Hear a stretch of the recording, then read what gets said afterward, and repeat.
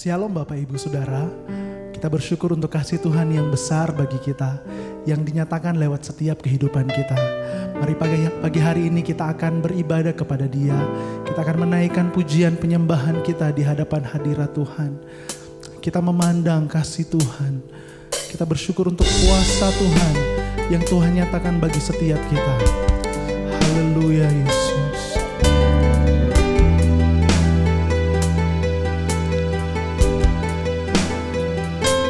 Inilah pujian kami. Inilah penyembahan kami Tuhan. Haleluya.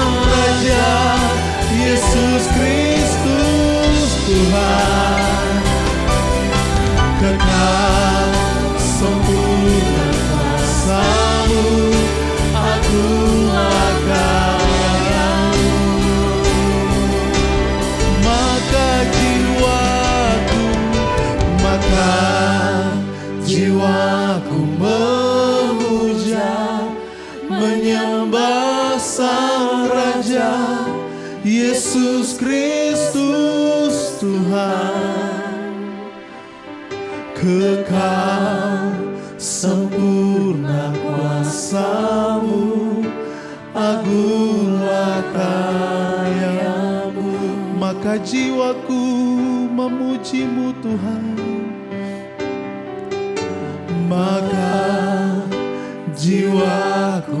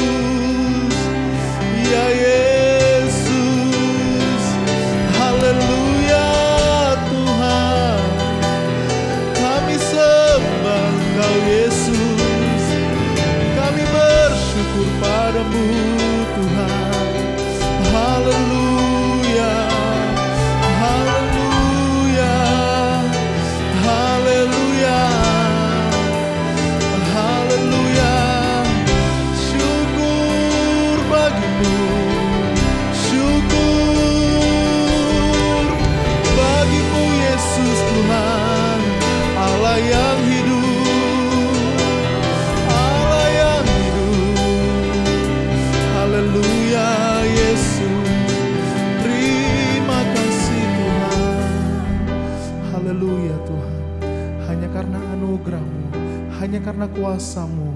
Kami boleh ada sebagaimana kami ada sampai saat ini Tuhan. Terima kasih Tuhan.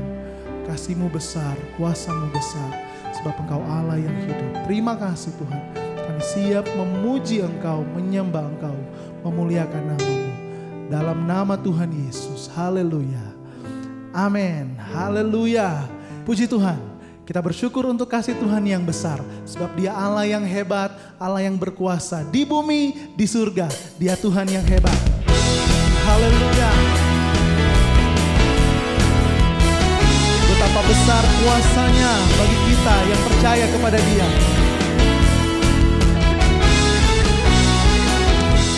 berkuasa di bumi di surga bertahta dalam kemuliaan. Oh dialah Tuhan Allah kita namanya berkuasa. Pembebas umatnya betapa hebat betapa kuat dasarnya Allah kita. Dia berjaya atas semua perbuatannya Betapa hebat, betapa kuat Dasarnya Allah kita Dia bernama Yesus Raja segala Raja. Tuhan Allah kita. Berkuasa. berkuasa di bumi di surga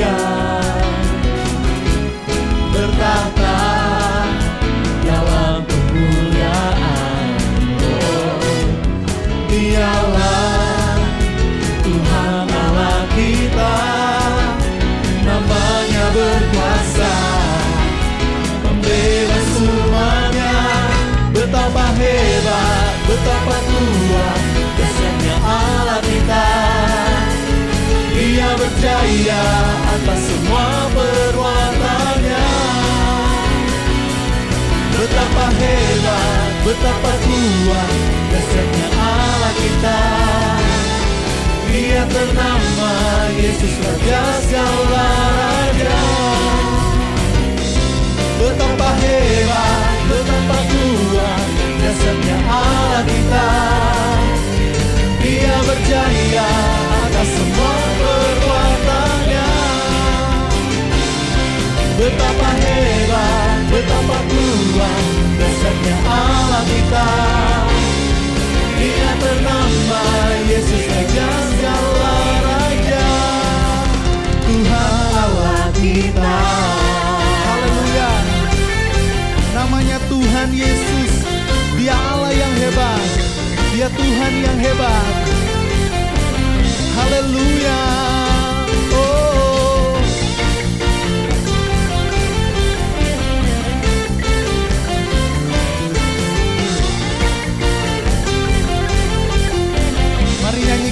Bersama-sama. Namanya Tuhanku Menara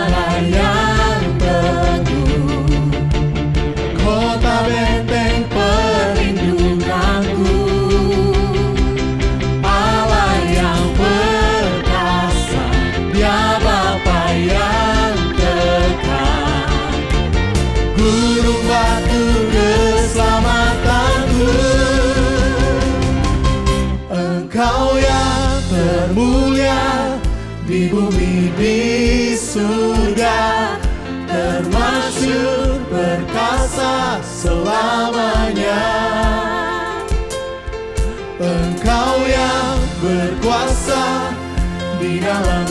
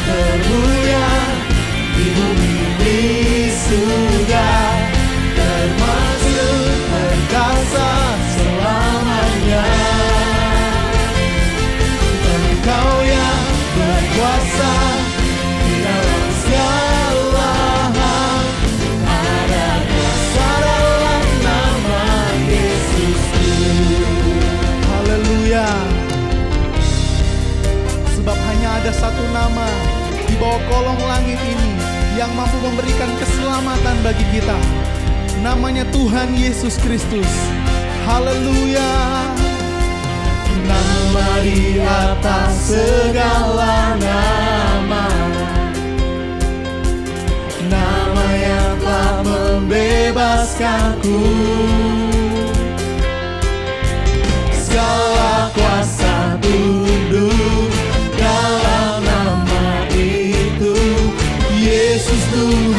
segala Tuhan Nama di atas segala nama. di atas segala nama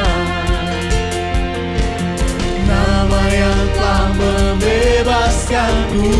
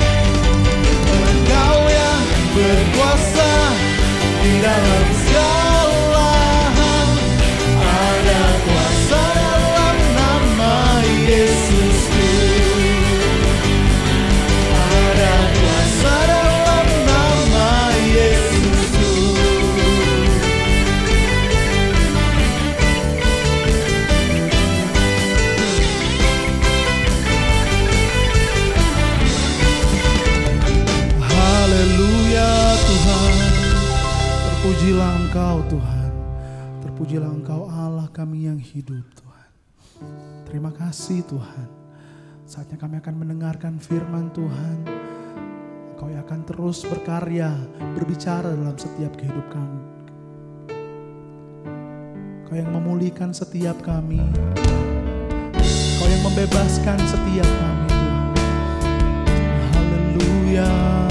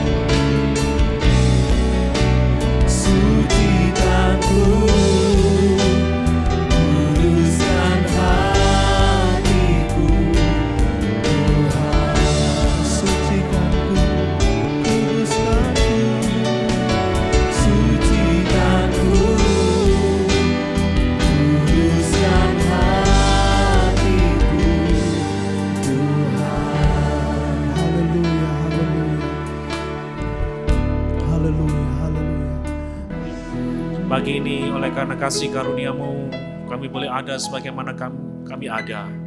Oleh karena pemeliharaanmu, kami boleh diberi kesehatan, kami boleh diberi kekuatan, kami boleh diberi anugerah juga untuk menikmati hadiratmu di dalam rumahmu di tempat ini.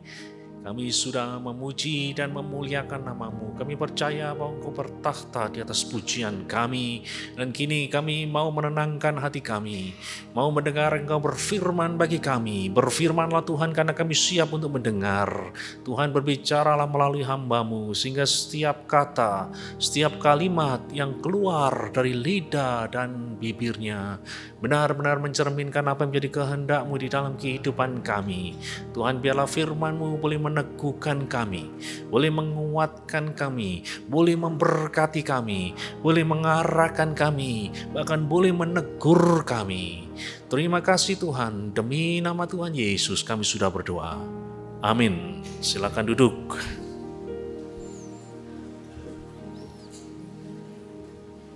Shalom. Selamat pagi Bapak Ibu serta saudara-saudara terkasih. Kita bersyukur pagi ini Tuhan memberi kepada kita kesehatan, Tuhan memberi kita kekuatan, Tuhan juga memberi anugerah kepada kita untuk bersama-sama berbakti memuliakan Tuhan di tempat ini. Pada pagi ini saya ingin menyampaikan firman Tuhan dengan judul Kauda. Kauda iman di tengah gempuran badai.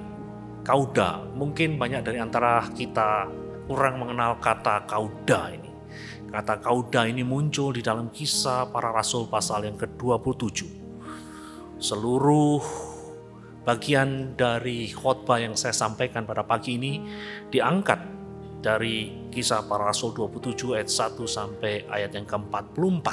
Saya tidak akan membacakan bagian tersebut secara keseluruhan karena terlalu panjang. Saya akan mengambil beberapa bagian dari ayat-ayat ketika firman Tuhan saya beritakan melalui mimbar ini. Saudara-saudara sekalian, Kauda, Kauda adalah sebuah pulau kecil. Jadi kalau saudara-saudara sekalian punya Alkitab, di bagian belakang dari Alkitab saudara ada yang namanya peta perjanjian baru. Peta perjanjian baru dan di situ Anda boleh melihat bahwa peristiwa-peristiwa di perjanjian baru terjadi di daerah-daerah sekitar sini. Dan kalau saudara perhatikan, ada laut di situ yang disebut dengan nama Laut Tengah atau Laut Mediterranean. Nah, saudara-saudara sekalian, kalau sudah lihat di peta itu ada dua pulau besar. Pulau yang pertama itu bernama Siprus, pulau yang kedua bernama Kreta. Kita mau fokuskan pandangan kita pada pulau yang kedua, Kreta. Pulau Kreta, saudara-saudara sekalian, kalau sudah lihat, kalau boleh saya perbesar dalam eh, slide yang saya tampilkan, nah, saudara-saudara sekalian, tidak jauh dari pulau kereta itu ada satu pulau kecil yang namanya Kauda. Kauda. Pulau tersebut sampai hari ini masih ada. Jadi kalau saudara lihat di peta dunia, Pulau Kauda itu mengambil nama Gavdos ya. Gavdos itu kata yang dipakai untuk pulau ini sekarang. Pada zaman perjanjian baru, kata yang dipakai untuk pulau ini adalah kauda. Kauda tidak besar pulau ini. Penduduknya hari ini hanya sekitar 152 orang saja. Mungkin satu RT di Batu ini. Kecil. Nah, penduduknya kecil saudara-saudara sekalian. Tapi walaupun pulau ini kecil, di dalam perjanjian baru pulau ini punya catatan yang menarik. Karena tak jauh dari pulau inilah Paulus dan orang-orang yang menumpang sebuah kapal itu mengalami badai yang begitu hebat. Nah, saudara-saudara sekalian, badai yang begitu hebat yang membuat mereka terkatung-katung, yang membuat mereka terombang-ambing di lautan kurang lebih dua minggu. Nah, saudara-saudara sekalian, kisahnya dimulai dengan perjalanan dari Rasul Paulus. Kisah para Rasul 27 adalah bagian-bagian yang terakhir dari kitab kisah para rasul. Perjalanan Rasul Paulus menuju Roma nah, dimulai dengan sebuah pelayaran dari sebuah tempat yang namanya Adramitium. Nah dari situ kemudian Paulus bersama-sama dengan kapal tersebut berlayar menuju sebuah kota yang bernama Sidon. Di Sidon Paulus diperkenankan untuk mengunjungi beberapa rekannya. Setelah Paulus ketemu beberapa rekannya, mereka melanjutkan perjalanan lagi menuju ke sebuah pelabuhan yang namanya Mirah. Lah dari Mirah tersebut, mereka kemudian melanjutkan pelayaran menuju ke sebuah pulau yang namanya Fair Havens di dalam bahasa Inggris atau di dalam terjemahan Alkitab bahasa Indonesia dikenal dengan nama Pelabuhan Indah. Pelabuhan Indah. Di sana mereka harus berhenti sejenak. Karena pada waktu itu adalah saat-saat menjelang winter, saat-saat menjelang musim dingin. Dari mana kita tahu?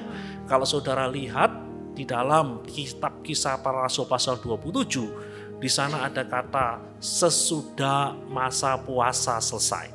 Masa puasa kalau di dalam tradisi Ibrani itu terjadi pada hari raya Yom Kippur, pada hari raya perdamaian. Itu terjadi kira-kira bulan September. Lah, melakukan pelayanan di antara bulan September dan di antara bulan November itu cukup berbahaya di daerah itu.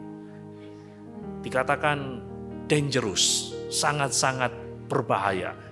Nah, saudara-saudara sekalian, kapal itu berlabuh di Fair Havens. Kapal itu berlabuh di Pelabuhan Indah. Nah, namun karena pelabuhan itu dianggap kurang nyaman, mereka bermaksud untuk pindah ke pelabuhan yang lebih nyaman. Karena musim dingin akan tiba dan selama musim dingin praktis tidak ada pelayaran sama sekali. Sangat-sangat berbahaya dan mereka mau menghabiskan musim dingin di sebuah pelabuhan yang namanya Phoenix. Di dalam Alkitab Anda nanti Anda ketemu kata Phoenix. Di sana lebih nyaman. Di sana ya pokoknya untuk relax itu pas lah. Tidak seperti di pelabuhan indah atau Fair Havens. Tapi Paulus, seorang yang sudah berpengalaman, mengingatkan mereka, jangan, jangan, jangan kita berlayar ke Phoenix. Kita di sini saja tidak nyaman, tetapi aman.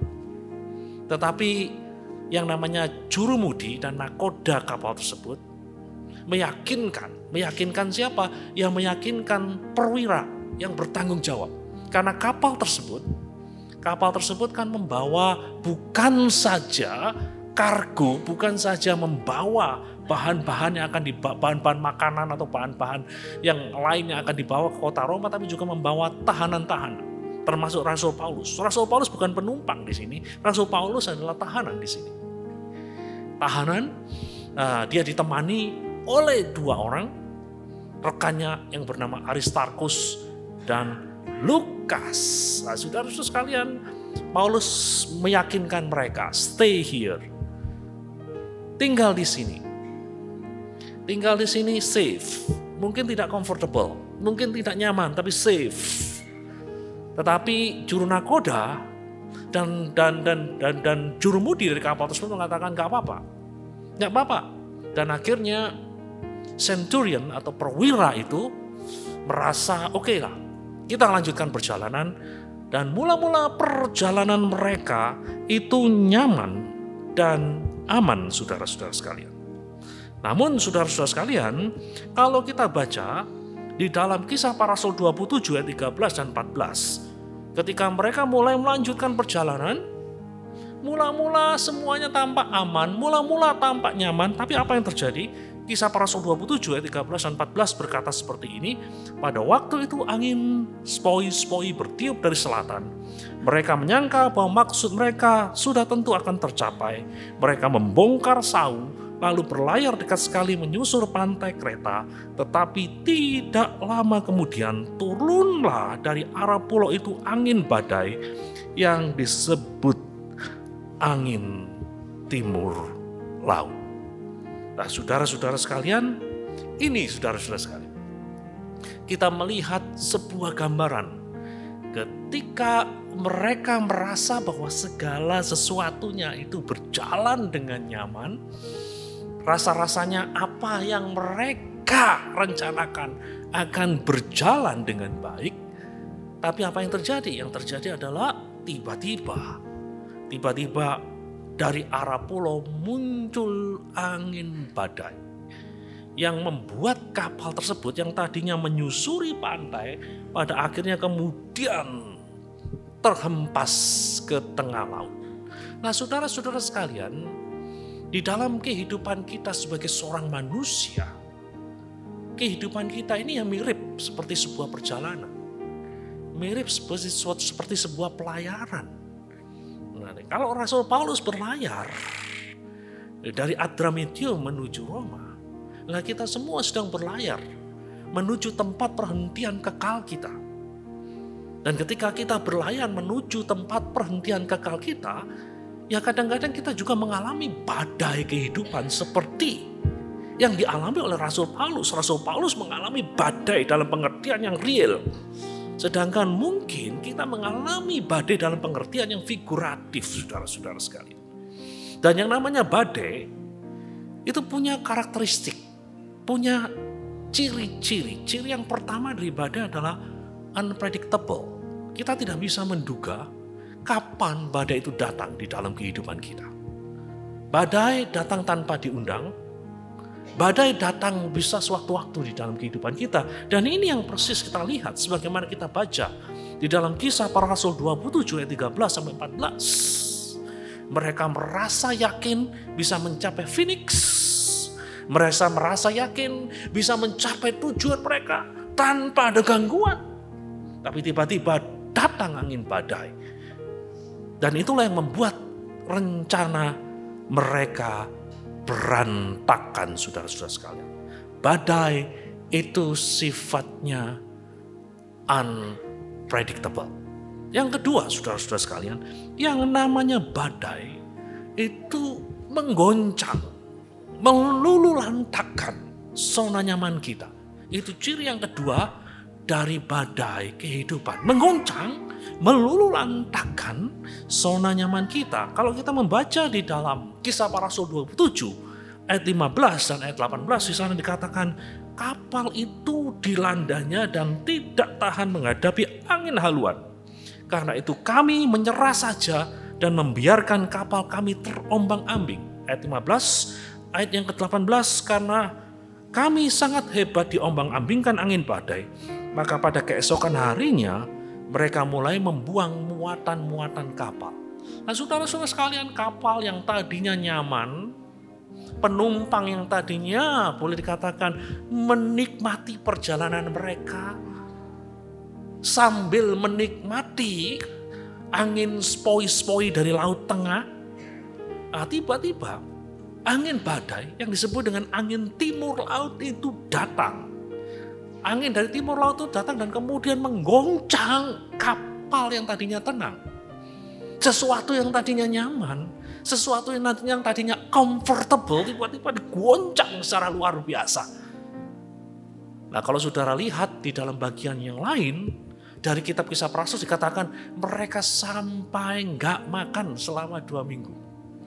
Saya pernah melakukan perjalanan dengan kapal kecil saudara-saudara sekalian.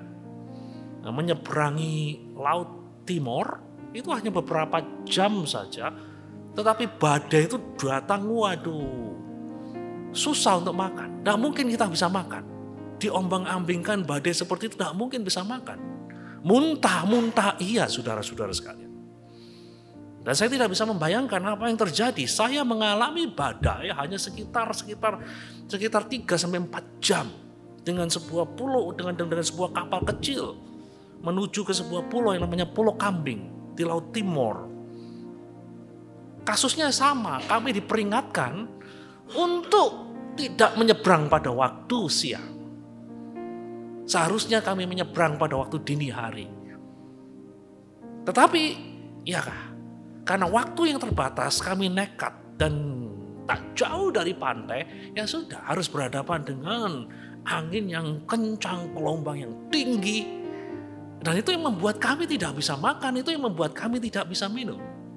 Dan saudara-saudara sekalian yang namanya badai kehidupan, itu memang mengguncang, memang membuat zona nyaman kita itu terganggu.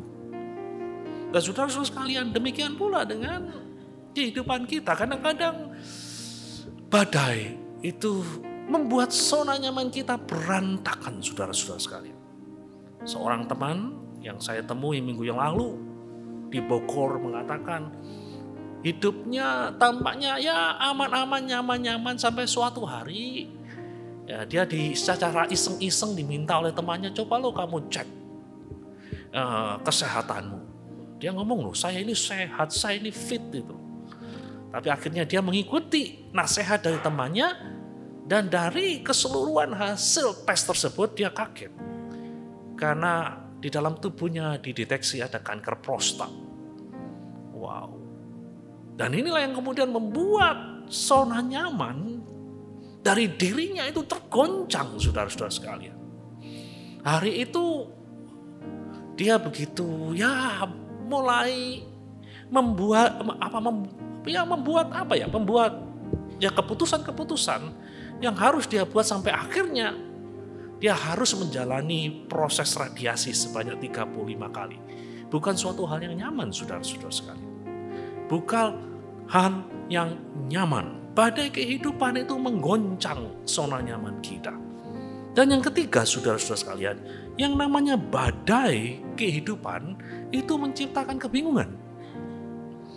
Kisah para rasul pasal 27 ayat 20 mengatakan, setelah beberapa hari lamanya, baik matahari maupun bintang tidak kelihatan dan angin badai yang dahsyat terus-menerus mengancam kami.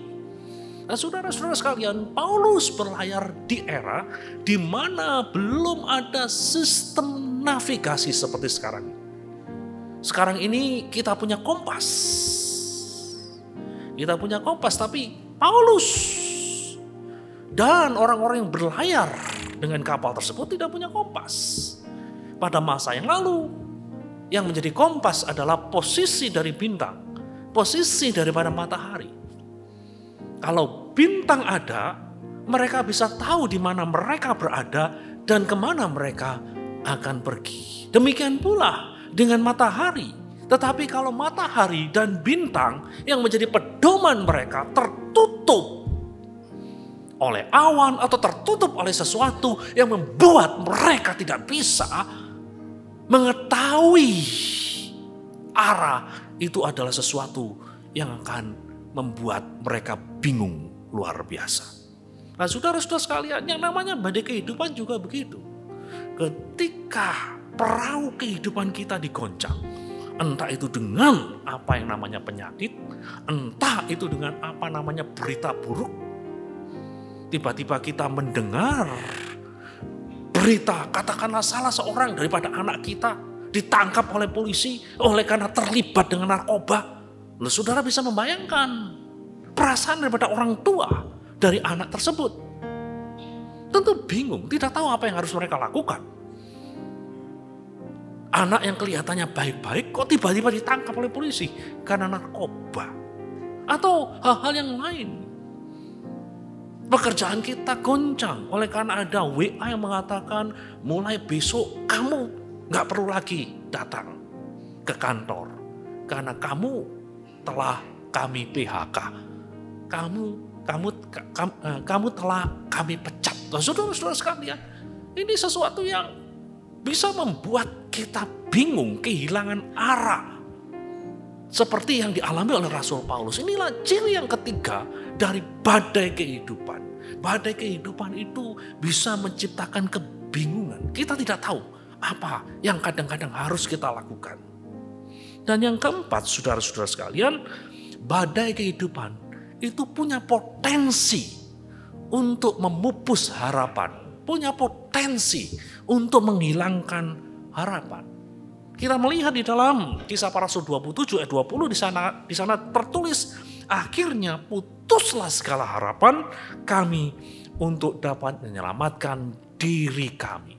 Nah, saudara-saudara sekalian, badai kehidupan itu punya potensi loh untuk menggoncang kehidupan kita sedemikian rupa sampai akhirnya kita bisa kehilangan harapan.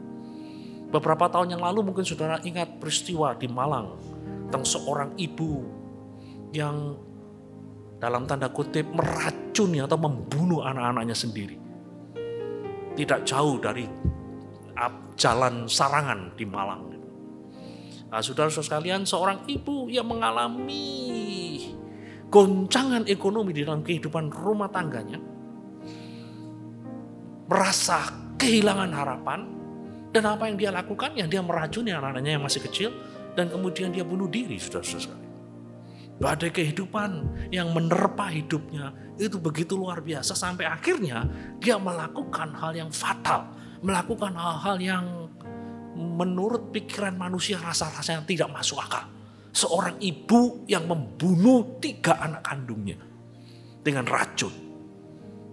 Tetapi ketika seseorang itu kehilangan harapan, seseorang bisa melakukan sesuatu yang fatal. Seperti seorang pernah mengatakan, when hope dies, there is nothing left. Ketika harapan itu mati, tidak ada lagi yang tersisa. Nah saudara-saudara sekalian demikianlah badai kehidupan. Badai kehidupan punya potensi untuk memupus harapan.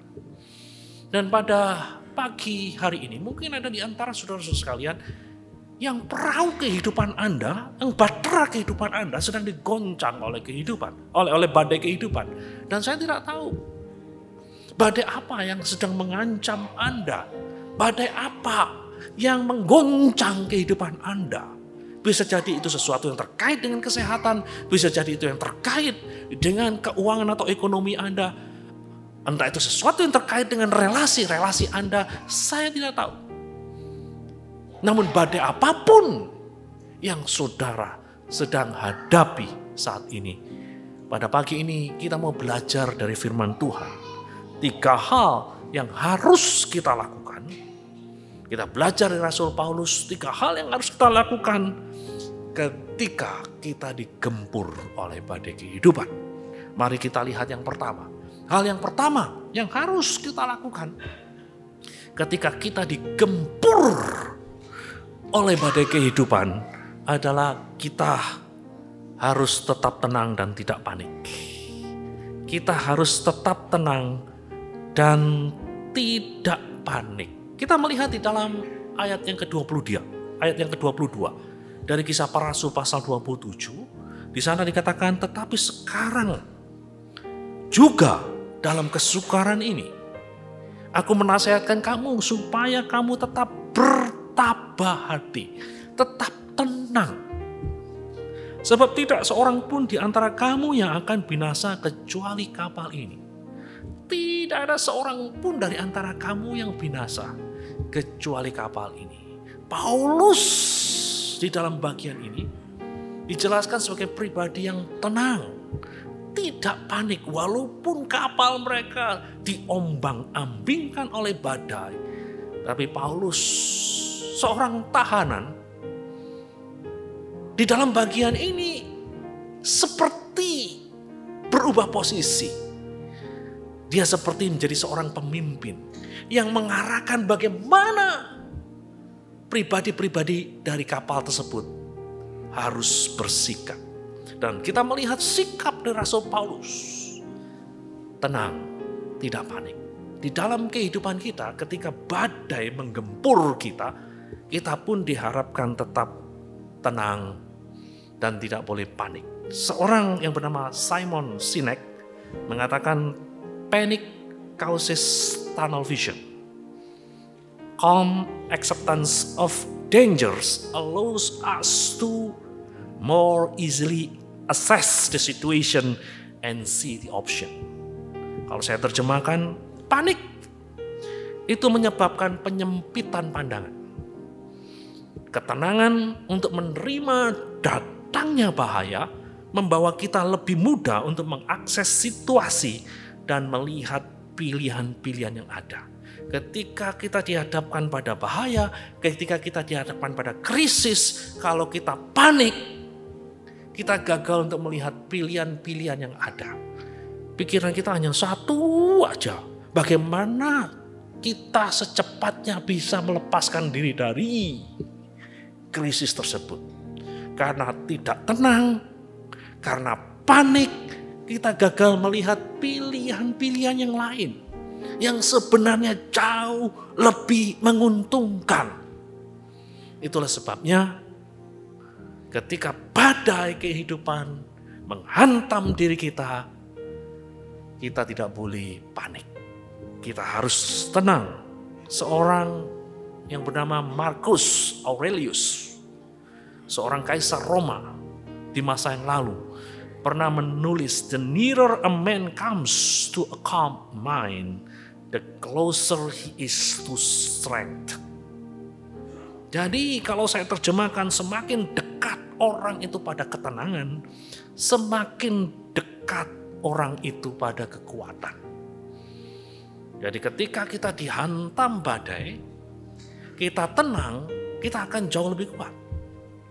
Tetapi kalau kita dihantam badai, kita panik, ya posisi kita akan jauh lebih rawan, jauh lebih lemah, saudara-saudara sekalian. Itulah sebabnya tenang.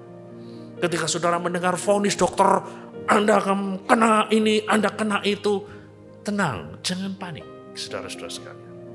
Ketika Anda mendengar telepon, ada hal-hal yang terjadi yang di luar jangkauan fisik Anda, tenang. Ketika Anda mendengar berita bahwa ada masalah di dalam pekerjaan Anda, tenang. Jangan panik. Karena ketika Anda tenang, seperti yang dikatakan oleh Marcus Aurelius, Anda akan dekat, lebih dekat dengan kekuatan.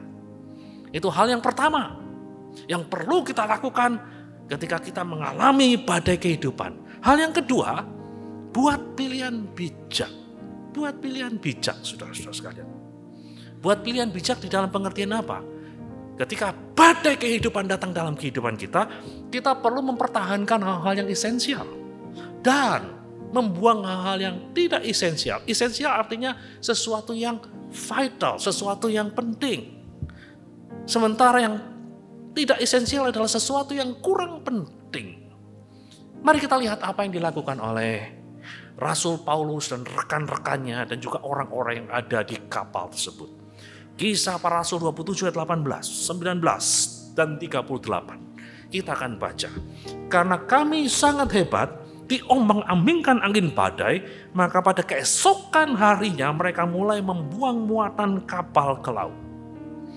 Nah, saudara-saudara sekalian, ketika badai itu datang, yang namanya kapal itu, kami saya mengalaminya, Ketika kapal kecil kami kena gelombang dan kemudian ada air yang masuk. Air itu masuk saudara-saudara sekalian. Air masuk dan itu membuat kapal itu jauh lebih berat. Dan kemungkinan karam, kemungkinan tenggelam itu besar sekali. Itulah sebabnya Rasul Paulus dan kawan-kawannya, orang-orang yang ada di dalam kapal tersebut harus membuat kapal itu lebih ringan. Caranya bagaimana?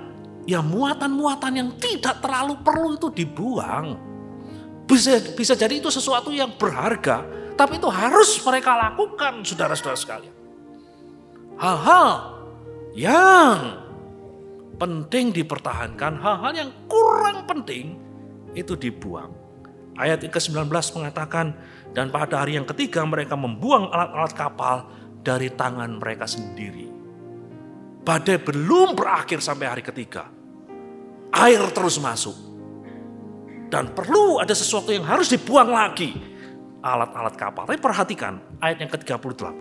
Setelah makan kenyang mereka membuang muatan gandum ke laut untuk meringankan kapal tersebut. Nah saudara-saudara sekalian yang dibuang terakhir itu apa? Gandum. Makanan.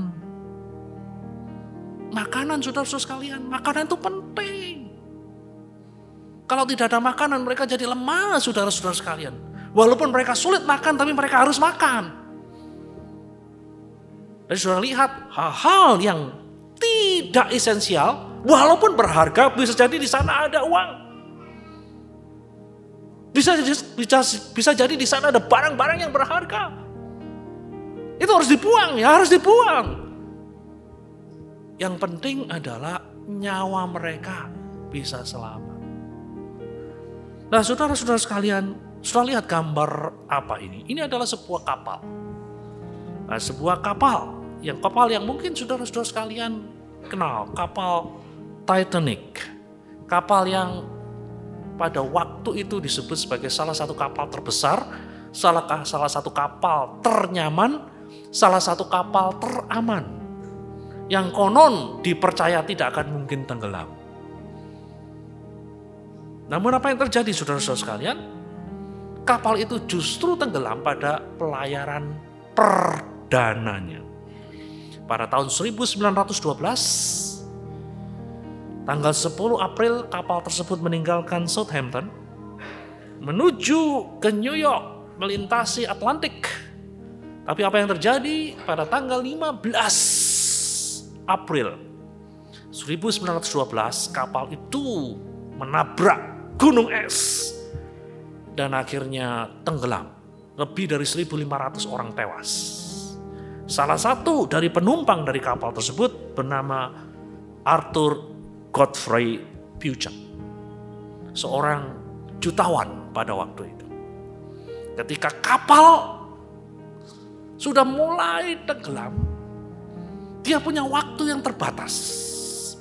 Di depannya ada berangkas yang berisi permata yang dia miliki, yang berisi harta-harta lain yang dia miliki, yang har, yang waktu itu ditaksir nilainya 300 ribu US dollar. Hari ini pun gede uang itu, apalagi waktu itu. Lebih dari 100 tahun yang lalu. Ada berangkas, isinya harta yang sangat banyak, dan ada tiga buah jeruk.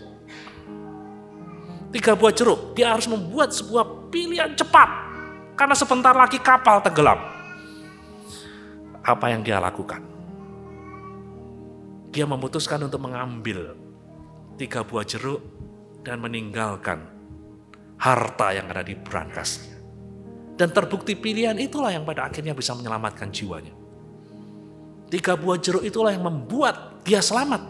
Karena selama beberapa hari dia terombang ambing di lautan, kalau dia ambil hartanya, hartanya tidak akan menolong dia. Mati, mengalami dehidrasi, tapi oleh karena tiga buah jeruk yang ada di kantongnya, dia bisa bertahan hidup. Hal-hal yang esensial dipertahankan, hal-hal yang tidak esensial dibuang. Nah, saudara-saudara sekalian, di dalam kehidupan kita sebagai manusia pun, kadang-kadang kita harus melakukan hal yang sama. Kadang-kadang kita harus melakukan hal yang sama ketika perkawinan kita digoncang badai, ketika hubungan-hubungan kita, relasi kita digoncang oleh badai kehidupan, ya kadang-kadang kita harus merelakan hal-hal yang bisa jadi berharga, tetapi tidak penting atau kurang penting di dalam kehidupan kita. Dalam kehidupan kita bisa jadi itu adalah pekerjaanmu, bisa jadi itu adalah jabatanmu, yang kadang-kadang perlu katakanlah dibuang ke dalam lautan kehidupan demi mempertahankan hal yang esensial. Saya teringat dengan seorang pemain bola yang terkenal di Indonesia pada era 1970-an. Namanya Roni Pati Nasarani. Roni Pati Nasarani, saudara-saudara sekalian, adalah seorang pemain belakang Indonesia yang legendaris Sesudah dia menyelesaikan karirnya sebagai pemain sepak bola, dia meniti karirnya sebagai pelatih. Sukses besar menjadi pelatih, namun ketika dia berada di puncak kesuksesan, dia mendengar bahwa dua putranya yang bernama Benny dan Yeri itu kecanduan narkoba. Kecanduan narkoba dan badai kehidupan inilah yang membuat Roni Pati harus membuat pilihan. Dan syukur Roni Pati Nasarani itu membuat pilihan yang bijak. Dia meninggalkan karirnya sebagai seorang pelatih. Yang pada waktu itu sedang berada di puncak kesuksesan. Dia tinggalkan, dia mau fokus untuk ngurus dua orang putranya yang kecanduan narkoba. Dan akhirnya memang kedua putranya ini bisa lepas dari kecanduan narkoba. menjadi anak-anak Tuhan yang baik, menjadi pelayan-pelayan Tuhan yang baik. Muatan-muatan yang tidak perlu dibuang oleh Roni Pati Nasarani demi untuk menyelamatkan hal yang esensial. Salah seorang dari putra Roni Pati Nasarani yang bernama Andri Jack Pati Nasarani atau yang dikenal dengan nama Yeri menulis kalimat seperti ini, pengorbanan papa sangat besar buat keluarga. Papa rela meninggalkan sepak bola yang membuat namanya populer demi membantu anaknya lepas dari ketergantungan narkoba. Nah, saudara-saudara sekalian, Roni berani membuang muatan-muatan yang berharga tetapi tidak penting demi menyelamatkan sesuatu yang jauh lebih penting, anak-anaknya. Demikian pula di dalam hidupmu, kadang-kadang pun Anda perlu membuat pilihan-pilihan yang bijak. Hari ini kalau Anda mendengar berita dari dokter, kesehatanmu terganggu. Dan Anda harus membuat pilihan yang bijak. Dan pilihan yang bijak itu menuntut Anda mengorbankan. Mengorbankan karir Anda. Ya Anda harus membuat langkah itu. Daripada Anda mencapai karir, tapi Anda mati muda. Nah, saudara-saudara sekalian, ini hal yang penting. Membuang muatan-muatan yang berharga tetapi tidak penting. Dan mempertahankan hal-hal yang lebih penting, hal-hal yang lebih esensial di dalam hidup ini. Nah, saudara-saudara sekalian, anak-anak muda yang mungkin sedang menjalin cinta. Nah, saudara-saudara sekalian, ada hal yang esensial di dalam hidupmu. Apa itu ya keselamatan? Iman yang akan membawamu menuju kepada keabadian bertemu dengan Kristus di dalam keabadian. Tapi kamu harus pegang iman ini erat-erat. Dan ketika badai kehidupan datang, dan Anda harus membuat pilihan, nah, pilihan-pilihan itu katakanlah Anda menjalin hubungan dengan orang yang tidak seiman, dan Anda harus berani untuk membuat pilihan. Katakanlah cintamu gede di sana, ya nggak ada masalah. Tetapi kalau itu kemudian membuat Anda kehilangan keselamatan, saya mendorong Anda untuk membuat langkah bijak seperti yang dilakukan Rasul Paulus. Rela membuang hal yang berharga, tetapi kurang penting. Pertahankan iman, pertahankan keselamatan. Walaupun harga yang harus bayar adalah ya Anda harus kehilangan hubungan dengan orang yang Anda kasihi tapi berbeda iman. Nah, saudara-saudara sekalian, kita lihat hal yang ketiga.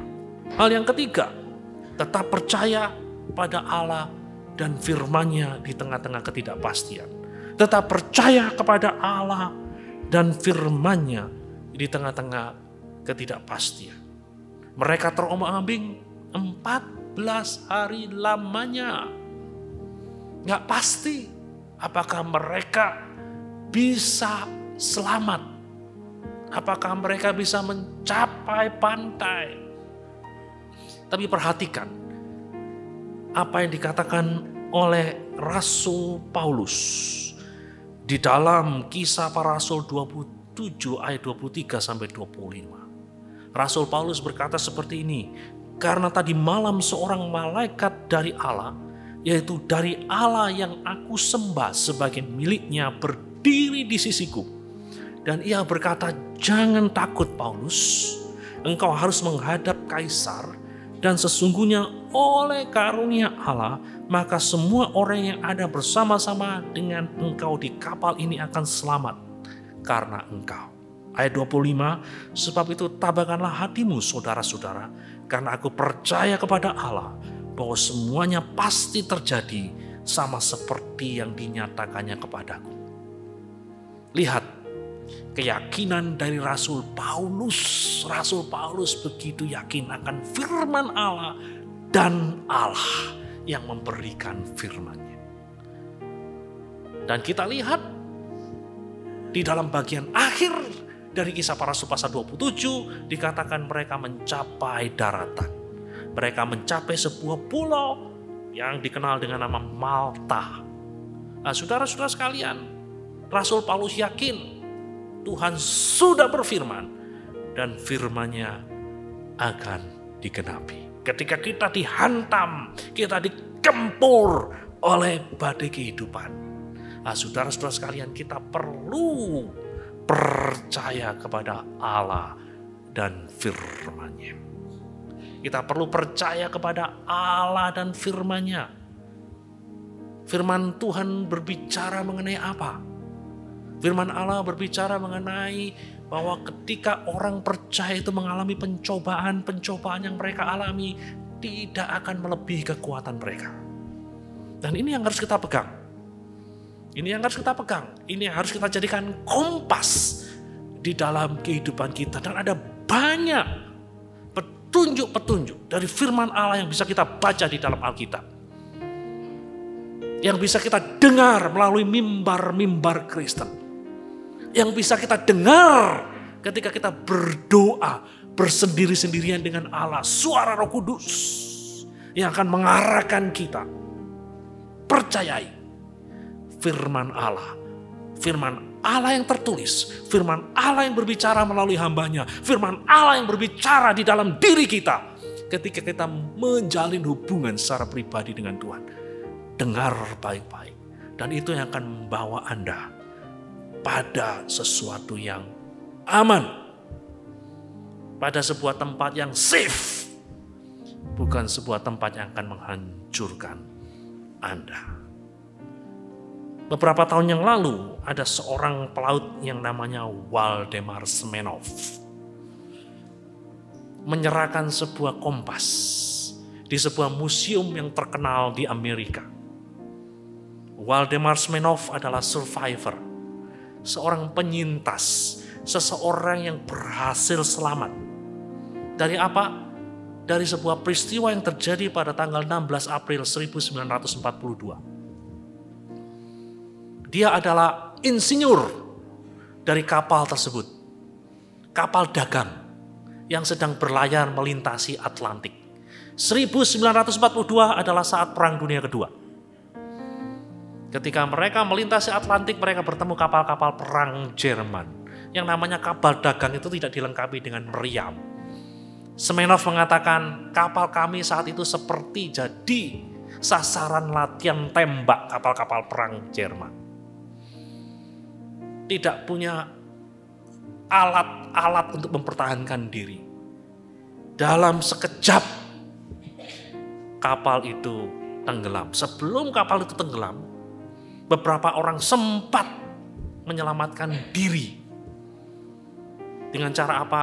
Dengan cara menaiki sekoci-sekoci. Ada beberapa sekoci yang mereka naiki. Dan salah satu skoci yang dinaiki adalah skoci yang dinaiki oleh Waldemar Smenov.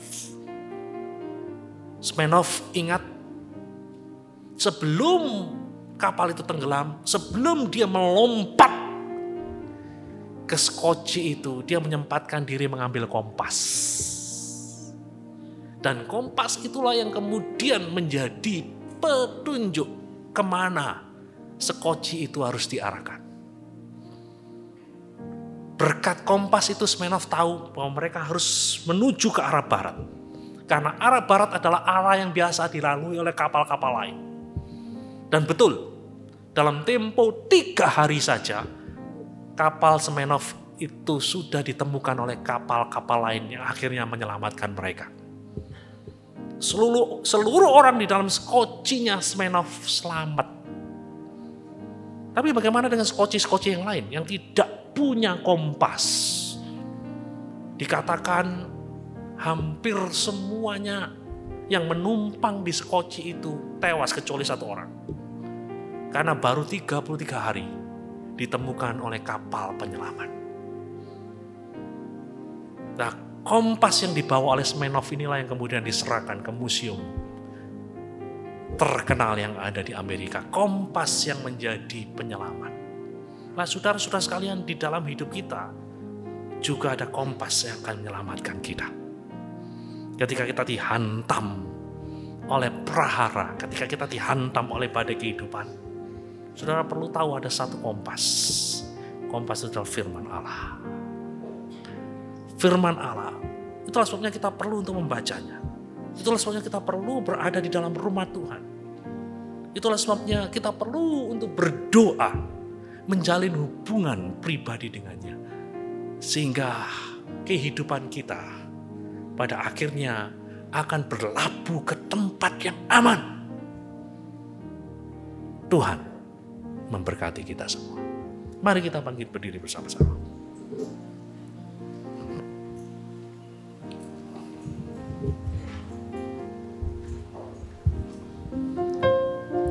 Katakan engkaulah perisaiku. Engkau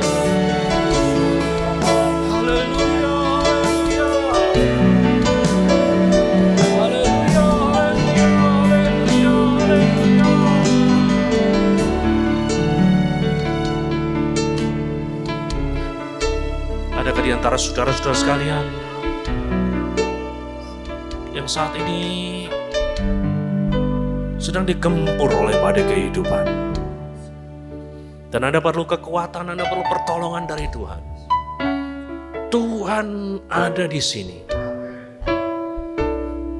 Seperti dia berkata kepada Rasul Paulus.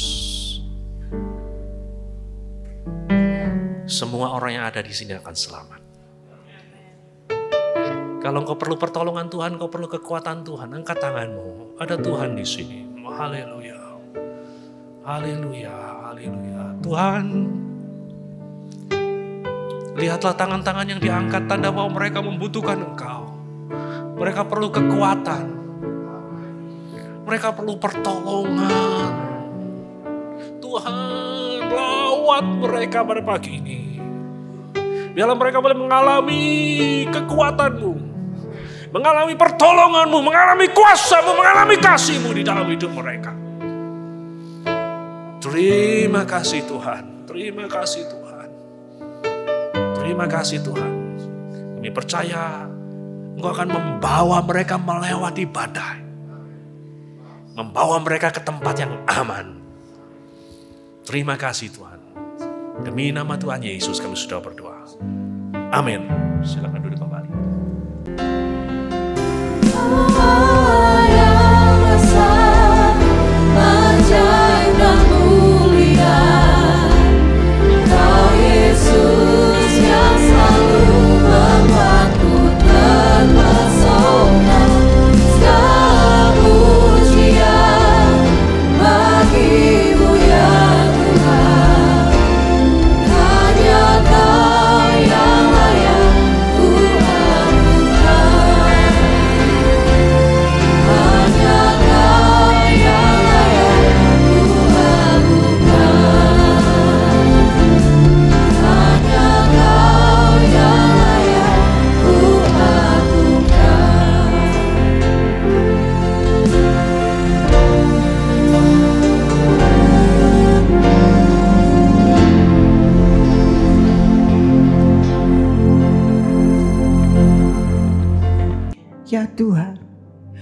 Hadiratmu tetap menyertai mereka untuk memberkati setiap rumah tangga mereka.